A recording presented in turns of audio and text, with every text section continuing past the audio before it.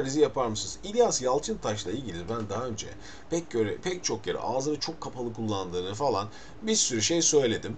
Ee, farklı bir şey de olacağını sanmıyorum ama bakalım. Sönmedi hala Bakın ağlarının tamamı kapalı. Ha çok açsa muhteşem bir şey mi olur? Yani hala ama daha güzel olacağı kesin. Hala gibi oluyor. Sönmedi hala Ağla, ağlarının tamamında var. Güzel bir ses rengi, şık, havalı diyoruz biz bu seslere yani. Artistik bir ses rengi zaten. Güzel kendine has bir özel bir yumuşak bir renk var gerçekten. Farklı. Şu ses girdiği zaman etkilenebilirsiniz. Güzel bir ses rengi gerçekten. Fakat ağların hepsi "Hı, hala Sönmedi hala hala. Kimseyi Sesi öne taşıdı. Sert bir şekilde sesi önde mask bölgesinde toparladı. Biraz da burnuna doğru yanaştırarak oğlar seviyorum. Biraz kapalı ya neden alışmış bilmiyorum ama çok kapalı. Beni sana Ya beni sana ve bu parçada da maalesef hani çok fazla etkilenmiş şeyden. Ee, Soner Sarıkabadayı'nın okuyuşundan. Çünkü Soner Sarıkabadayı tamamen kendi gibi bir stilde okuyor. Da ben çok e, keyifli bulmadım bu okumayı. Bilmiyorum yorum yapayım mı daha fazla? Çünkü çok fazla Soner Sarıkabadayı gibi okuyor gibi geldi bana. Zaten hani e, daha henüz yeni piyasada olan bir şarkıcı İlyas Yalçıntaş. Hani böyle onlarca albümü yok. E, okuma stili de bu parçada dinletiği gibi olmuş. kaptım Göğüs rengini güzel bir renk görüyorsunuz. Oturttuğu zaman ses çok güzel. Yani e, küçük bir iki A kapatması dışında aslında büyük hiçbir problem yok. Tertemiz bir okuma. Süper. Sebebi İyileri daha fazla açmak zaten keyifli bir şey ver- vermeyecektir. İyiler yerinde. Daha önce e, bana gönderdiğiniz için ben hep şey diyorum yani İlyas Yalçı- Yalçıntaş'la ilgili şarkı analizlerinde veya işte sorduğunuz şeylerde kısa kısa hep konuşmuştum. Onlar arasından da bir genel yorum yapıyorum şu an. Daha önce konuştuklarım arasından. Aklımda Bakın bu A'yı açmadığı için detonesi ne olmuş? Aklımda bir Yani çok kötü girmiş. Çünkü bakın ağza bakın. Aklım, aklımda. Akorların aklımda. Aa, biraz daha açsa rahat edecek. Kimseyi sevemiyorum. Aklımda.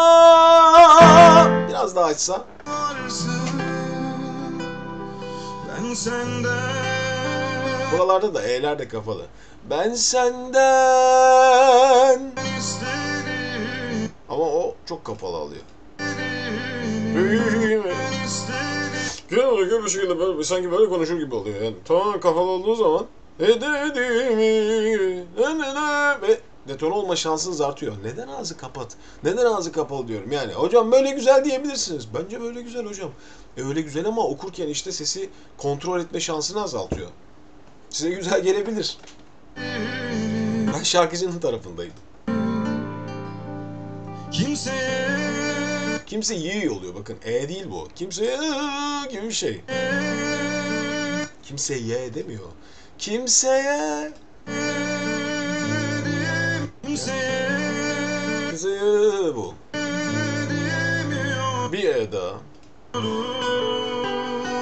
Neden bu kadar böyle bir alışkanlık? Herhalde e, tahmin ediyorum ki sesleri tutabilmek için ilk başta böyle bir içeride kontrol edip e, çıkarmayı düşünerek aman yanlış yapmayayım bu sesi nasıl çıkarayım hep içeride bulmaya çalışmış. Hep bu şekilde alışmış yani açık alışmamış bu seslere. Daha rahat, daha geniş bir şekilde alıştırmamış kendini. Ve öyle kalmış. Sormadan seveceğim Hemen omzunda geveler gibi oluyor şarkı yani. Yormadan, sormadan. seni sana Sığdem ya, Sadem dedi, Sığdem. Bakın yani resmen Sığdem. sana sefer artikülasyonla gitmeye başlıyor parçada. Sormadan söyledim, söyledim, söyledim. Gönlüme Sormadan mı da? ya buna var mı Sorma. Bu Gök- Gökhan Türkmen'de de var bundan bir şeyler bazen. Müsaaden Söyledim. Hiç durmadan yorulmadan Ya sadece şöyle bir şey demiyor musun arada? diye bir sürekli bir tını geliyor fakat harfler yok. harfler uçmuş oluyor. Yani bütün şan eğitimlerinin içinde her zaman şunu deriz. E, harfleri söyleyin. Hatta size kısa da bir örnek vereyim. E, konservatuar yıllarında e, hocam bana Çarşambayı Selaldı türküsünü okutmuştu. Okutmadan önce çok ilginç. Hocamız hep şu şekilde, girerdi Erol Uras. Bakın çok basit bir şeydir. E, derdi ki hangi türkü okuyacaksın Emre bize derdi. Ça- e, işte çarşambayı sel aldı derdim. Efendim derdi. Çarşambayı sel aldım derdim. Efendim derdi.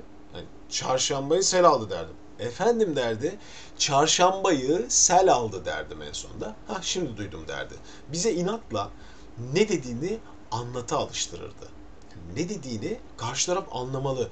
E, bu öyle bir noktaya gitmiş ki yani e, şimdi diyeceğim ki İlyas Yalçıntaş için herkes bayılacak. Yani bir sürü kişi de bakın 3 milyon tane zaten Jo- Joystick Akustürk'te hit almış bir video. Herkes seviyor. Yani sevilmek ayrı bir durum. Burada kişinin efendim sesi şöyle böyle diye girmiyoruz. Teknik olarak bazı şeylerde sıkıntı var. Dinleyen için bu sorun olmayabilir. Abi, abi kimsenin bir sorunu yok ki ya. Sen boşa takıyorsun denebilir. Ama aslında yaptığı şey doğru değil arkadaşlar. Güzel değil yani. Güzel gibi gözüküyor belki size ama güzel değil. Harfleri bile anlamıyorsunuz. Yani iyi bir şarkıcılık değil. Daha iyi bir şarkıcı bunu okuduğu zaman şarkılar arasındaki farkı anlarsınız. Zaten Zaten zaten kafalılar gibi. Sen nasıl olmadı? Olmadan ya buna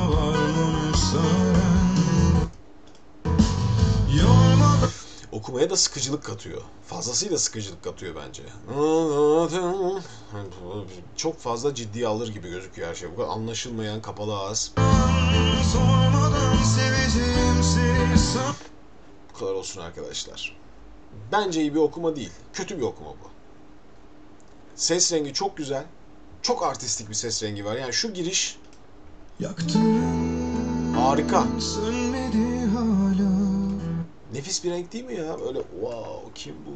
Böyle giriyor. Fakat parça içinde o girişteki güzellikleri en sonunda hatırlıyorsunuz. Neydi ya onlar diyorsunuz. Ne hale geldi şarkı gibi. Bakın ortada bir detone yok. De- yani şöyle düşünmeyin. Ya hocam detone olmadı ki. E detone olmadı ama şarkında harf yok. Harf kalmadı. Kapalılıktan gitti. Neyse bu kadar söyleyeyim. Fazla da şey yapmayalım ayıp gibi olmasın artık.